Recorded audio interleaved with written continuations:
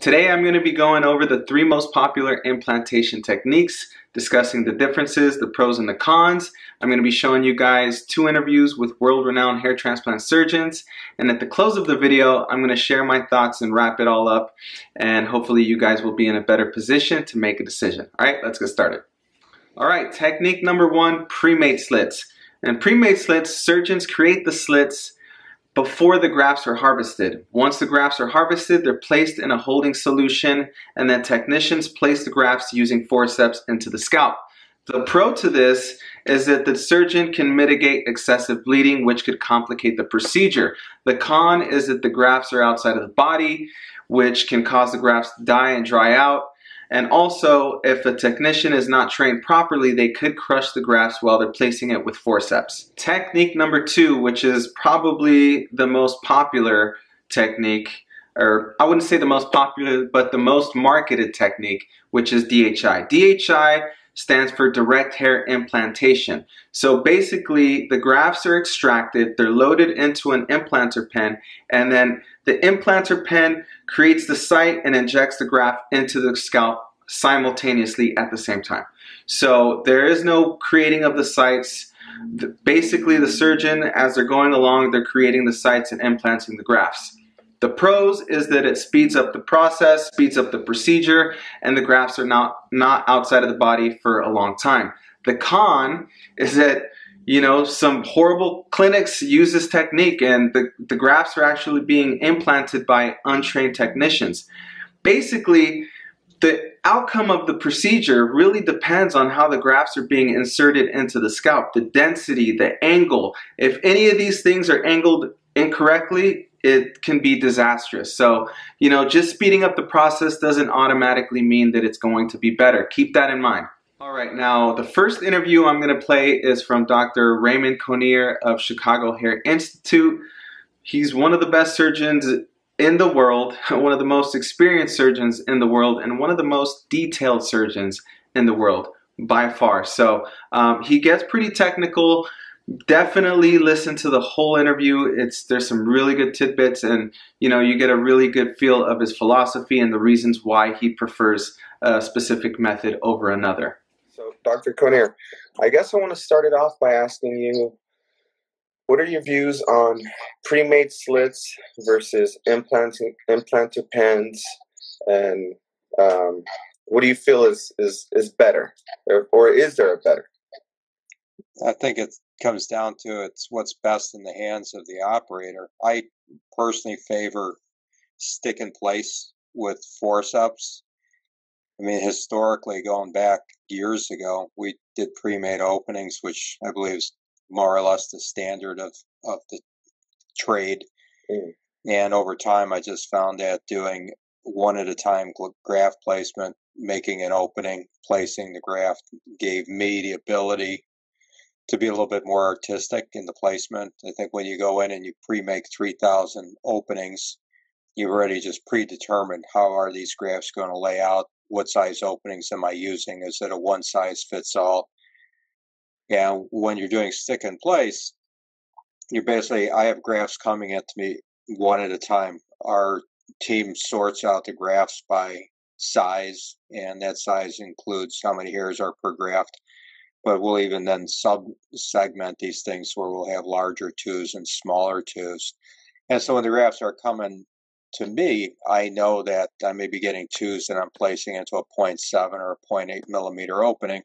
And I know, immediately for whatever size graft's coming my way, am I upsizing or downsizing? So in my hands, I get a more meticulous fit for each graft that's being placed.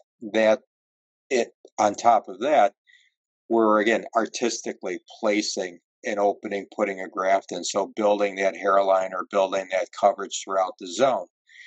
So, you know, I personally believe like a, a great painting, mm. doing individual strokes is a whole lot better than, you know, throwing a lot of strokes on a canvas at one time. Yeah. So, you know, then you get into the, the, the whole debate of forceps versus implanters, which is another debate. And I think the primary purpose of implanters, it all boils down to graft yield, you know, graft safety, graft yeah. integrity. because common sense tells you that the more you manipulate this fragile uh, piece of tissue, the more likely are to damage it. And there's all kinds of damage that can come to any individual graft. And I mean, probably the number one thing is just desiccation. If you're working in a dry environment, which here in the Midwest, we're prone to very dry air in the wintertime, these grafts sitting out for a very short period of time is like a grape turning into a raisin. They shrivel up on you fairly quickly. Um, the second is just the manipulation. How ha- gentle is the graft being handled by the technician or the surgeon who's handling the graft? And ultimately, that comes down to experience. I think when you're looking at technicians in a generic sense, you have to say, well, how, what's the average technician's experience?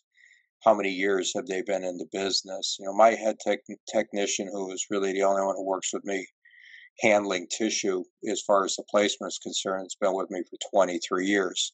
Wow. You know, that being said, you know, I'd personally close my eyes and take a nap if she was one putting grafts on top of my head because I mean, I've literally seen her place millions of grafts, you know, after all yeah. these years. You place a lot of grafts. So I think if you're looking at the average average technician with less experience, an implanter is something that's going to take the human element of touching and contacting this graft with forceps out of the equation. And you know, these forceps are going to crush the crush the grafts when you're taking that graft or you're trying to put it into a tight opening. The, the follicle is going to be flipping around, and there's no question you're going to get more more injury and, and potentially lower growth because of that. Mm. But when you're doing individual graft placements, where I'm doing this with one person, who I know, and I see every graft that goes into a scalp. I mean, literally 100% of the grafts that go into the scalp. I know what's happening at that moment in time. I know if a graft is being bumped. I know if a follicle is being bent. Mm. And I can make it a, an immediate call on the adjustments that need to be done. You know, when you're dealing with a clinic where maybe the physician isn't in the room and entrusting the staff, what you yeah. have to say to, to yourself. Yeah. As a patient, well, again, how much skill does this technician have, and how much investment does this technician have in me as a patient? And uh, you know, that's a whole nother debate. We can talk for an hour about that. yeah. But you know, I, I think implanters. There's there's no question. There are some very highly respected physicians who have gone the implanter route personally, I think it's a great idea. All right, this second interview is from Dr. Mwamba of Atlanta and Brussels, Belgium.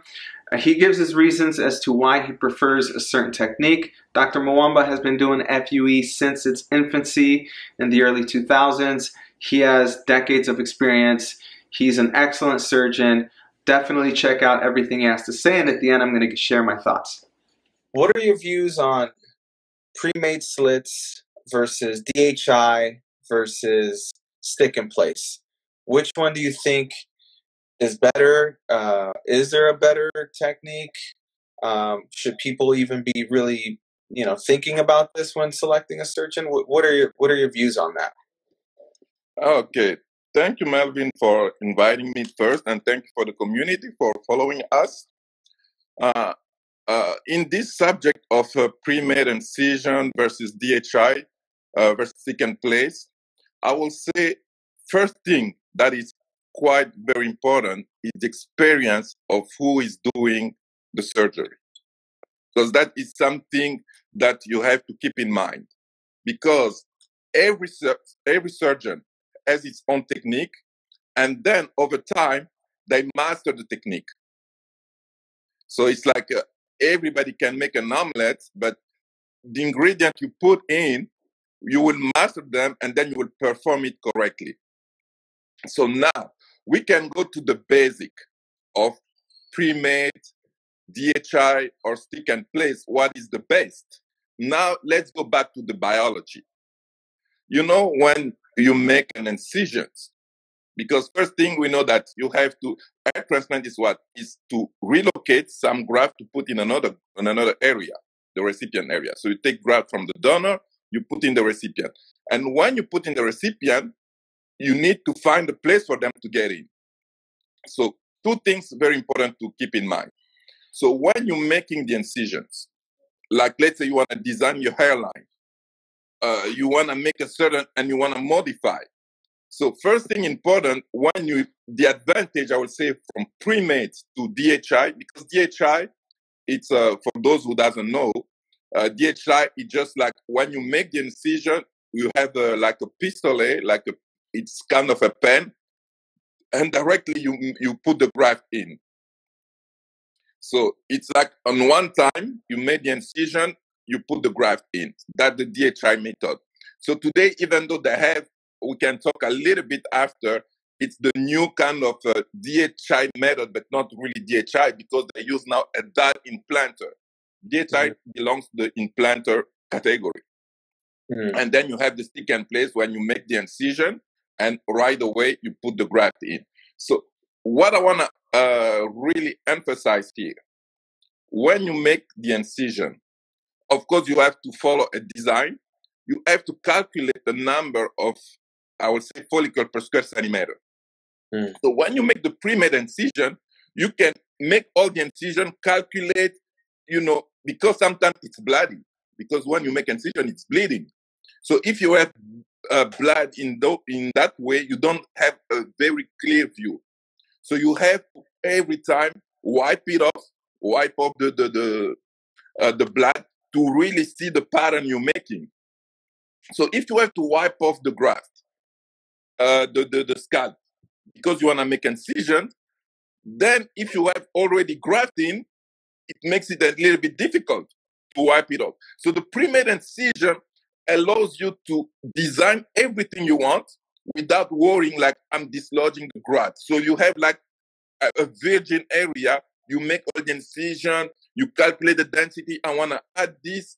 And then when you have everything, then you just come and put put them in. All right, guys. Well, there you have it. There are two world-renowned surgeons given their reasons why they prefer a method over another. I'm going to close this by saying it's not the technique, it's not the method, it's whoever is using them. So if a doctor prefers to use the stick and place method and they get great results, then there's really no reason to question it. They're getting good results, they're comfortable using the stick and place method. If a doctor is using DHI and they're getting great results and they're experienced, there's really no reason to question it. Uh, however, I will say that DHI is not some fail-proof technique. It's not like you know, you can get DHI and it's, oh, wow, it's, it's magically going to give me more results than, you know, stick and place or pre-made slits. It's not. It depends on the clinic. Now, pre-made slits, the same thing. If a surgeon has been doing pre-made slits and they're getting great results, you know, there's really no reason to question it. It's not something that as a patient you should really look into. I just want to close this by saying what you should be looking at are the patient reviews. What kind of reviews is this clinic getting? Go to the Hair Restoration Network and research the surgeon before you choose them. Guys, the Hair Restoration Network has been around for over 20 years. There's thousands and thousands of hair transplant reviews from surgeons all over the world. And if you're not going on there and doing your due diligence, then you're really making doing yourself a disservice. All right, guys, that's going to be in the description box. Um, so if you guys found this video informative, I would really appreciate it if you guys would go ahead and give it a like. And if you like the content that I put on this channel, please consider subscribing and following me on my journey. Uh, I'm going to be getting my next hair transplant at the end of December, so stay tuned. All right, guys, till next time.